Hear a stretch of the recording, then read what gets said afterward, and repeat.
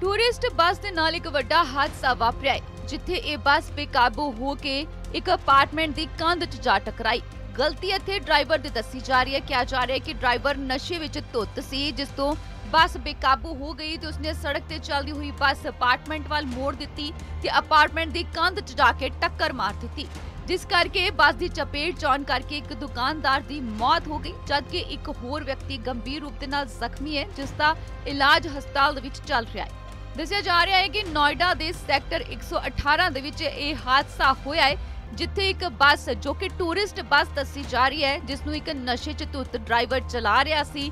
ਕਿਹਾ ਜਾ ਰਿਹਾ ਹੈ ਕਿ ਡਰਾਈਵਰ ਨੇ ਸ਼ਰਾਬ ਪੀਤੀ ਹੋਈ ਸੀ ਤਾਂ ਸੜਕ ਤੇ ਚਲਦੀ ਚਲਦੀ ਬੱਸ ਉਸਨੇ ਅਪਾਰਟਮੈਂਟ ਵੱਲ ਮੋੜ ਦਿੱਤੀ ਉਸ ਦੀ ਬਾਉਂਡਰੀ ਨੂੰ ਤੋੜਦੇ ਹੋਏ ਕੰਧ 'ਚ ਜਾ ਮਾਰੀ, ਜਿਸ ਕਰਕੇ ਅੱਗੇ ਦੁਕਾਨ ਲਗਾ ਕੇ ਬੈਠੇ ਇੱਕ ਵਿਅਕਤੀ ਦੀ ਮੌਤ ਹੋ ਗਈ, ਜਦਕਿ ਇੱਕ ਹੋਰ ਇਸ ਬੱਸ ਦੀ ਚਪੇਟ 'ਚ ਆਉਣ ਨਾਲ ਗੰਭੀਰ ਰੂਪ ਨਾਲ ਜ਼ਖਮੀ ਹੋ ਗਿਆ ਇੱਥੇ ਕਿਹਾ ਜਾ ਰਿਹਾ ਹੈ ਕਿ ਇਸ ਬੱਸ ਦੇ ਡਰਾਈਵਰ ਨੇ ਸ਼ਰਾਬ ਪੀਤੀ ਹੋਈ ਸੀ ਜੋ ਟੱਕਰ ਮਾਰਨ ਤੋਂ ਬਾਅਦ ਮੌਕੇ ਤੋਂ ਫਰਾਰ ਹੈ ਪੁਲਿਸ ਦੇ ਵੱਲੋਂ ਉਸ ਦੀ ਤਲਾਸ਼ ਕੀਤੀ ਜਾ ਰਹੀ ਹੈ ਇਸ ਹਾਦਸੇ ਨੂੰ ਦੇਖ ਕੇ ਅਪਾਰਟਮੈਂਟ ਵਾਲਿਆਂ ਦੇ ਵੀ ਸਾਹ ਸੁੱਕ ਗਏ ਜਿੰਨੀ ਤੇਜ਼ੀ ਦੇ ਨਾਲ ਇਹ ਬੱਸ ਆਈ ਅਤੇ ਅਪਾਰਟਮੈਂਟ ਦੀ ਬਾਉਂਡਰੀ ਤੋੜਦੀ ਹੋਈ ਕੰਧ 'ਚ ਜਾ ਵੱਜੀ ਤਾਂ ਹਰ ਕੋਈ ਇਸ ਧਮਾਕੇ ਤੋਂ ਬਾਅਦ ਡਰ ਗਿਆ ਸੀ ਇਲਾਕੇ ਦੇ ਵਿੱਚ ਅਜੇ ਵੀ ਸਹਿਮ ਦਾ ਮਾਹੌਲ ਹੈ। ਪੁਲਿਸ ਦੇ ਵੱਲੋਂ ਡਰਾਈਵਰ ਦੀ ਤਲਾਸ਼ ਲਗਾਤਾਰ ਕੀਤੀ ਜਾ ਰਹੀ ਹੈ, ਕਿਉਂਕਿ ਇੱਥੇ ਸਾਰੀ ਗਲਤੀ ਡਰਾਈਵਰ ਦੀ ਦੱਸੀ ਜਾ ਰਹੀ ਹੈ। ਜੋ ਬੱਸ ਚਲਾਉਂਦਿਆਂ ਹੋਇਆ ਨਸ਼ੇ ਵਿੱਚ ਧੁੱਤ ਸੀ, ਸ਼ਰਾਬ ਪੀਤੀ ਹੋਈ ਸੀ, ਇਸ ਡਰਾਈਵਰ ਨੇ ਜੋ ਟੱਕਰ ਮਾਰਨ ਤੋਂ ਬਾਅਦ ਉੱਥੋਂ ਫਰਾਰ ਹੋ ਗਿਆ ਇੱਕ ਵਿਅਕਤੀ ਦੀ ਇੱਥੇ ਮੌਤ ਹੋ ਚੁੱਕੀ ਹੈ, ਜਦ ਜਦਕਿ ਇੱਕ ਗੰਭੀਰ ਰੂਪ ਦੇ ਨਾਲ ਜ਼ਖਮੀ ਹੈ, ਜਿਸ ਦਾ ਇਲਾਜ ਚੱਲ ਰਿਹਾ ਹੈ। ਹਾਂ, ਉੱਪਰ ਬੱਸ ਚੜ ਗਿਆ ਤੇ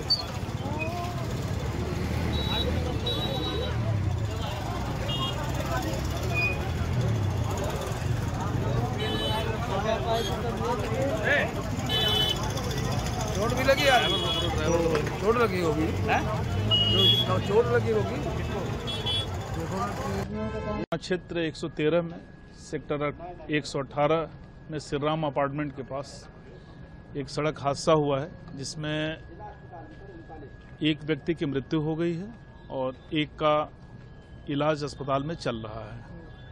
पूरे घटनाक्रम में एक ये बड़ी बस है, टूरिस्ट बस है, और ये आ रहे थे। इसके द्वारा श्रीराम अपार्टमेंट के बाउंड्री को तोड़ दिया गया है। बस अनियंत्रित हो गई, जिससे बाउंड्री तोड़ते हुए ये अंदर आ गई है, और उसी के चपेट में जो दुकान लगाए हुए थे तो एक व्यक्ति की मृत्यु हो गई है, और एक गंभीर रूप से घायल है, जिनका जिला अस्पताल में इलाज चल रहा है। हाँ ऊपर बस चढ़ गया